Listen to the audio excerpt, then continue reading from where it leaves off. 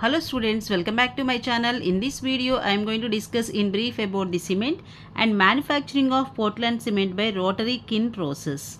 So initially moving to the cement, any material possessing adhesive and cohesive properties which is capable of binding materials like stones and bricks is called cement.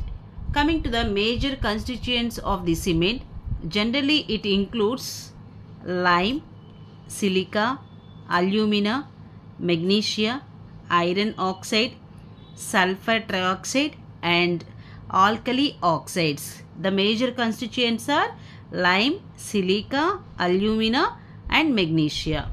So coming to the manufacturing of Portland cement by rotary kiln process, it involves four major steps. The first step is mixing of the raw materials. So it can be done by dry process or wet process. Coming to the second step, it involves burning of the raw material. Usually it is done in the rotary kiln. Third process is grinding and it is followed by packing. So coming to the second step which is called as the burning of the raw materials and that can be done by using rotary kiln. So initially the raw material is introduced into the rotary kiln which is inclined for about 5 to 6 degrees and this rotary kiln can be divided into three important zones. First one is called as drying zone the upper zone is called as the drying zone where 400 degree centigrade is maintained. The middle zone is called as the calcination zone where limestone decomposes to form quicklime and carbon dioxide. The lower zone is called as the clinkering zone.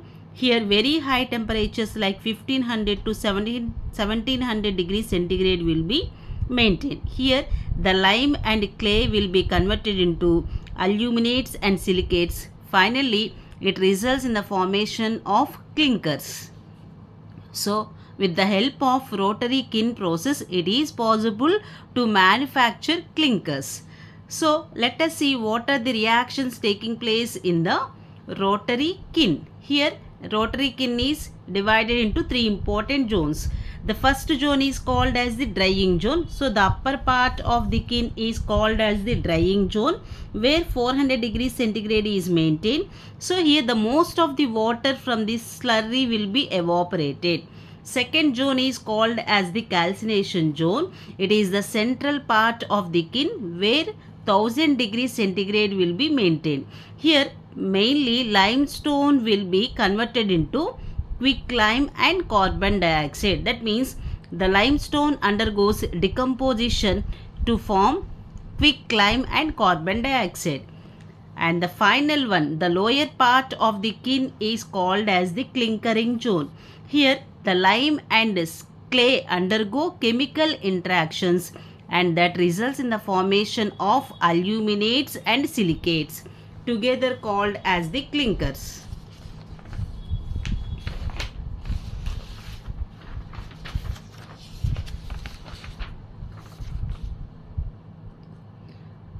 So here in the lower part of the kiln the lime and silica undergo interaction and that results in the formation of calcium silicate. Calcium and alumina undergo interaction and that results in the formation of calcium aluminate. So in that way it results in the formation of clinkers. In the third step that means the clinkers are cooled and they are ground to a fine powder in ball mills. During the grinding process itself, a small amount of the gypsum powder will be added. So, to the fine powder of the clinkers, gypsum will be added.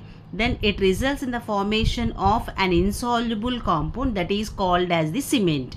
Finally, it will be packed automatically by using automatic packing machines in silos. Each bag contains 50 kg of the cement. If you like the video, don't forget to like, share and subscribe. Thanks for watching. Have a nice day.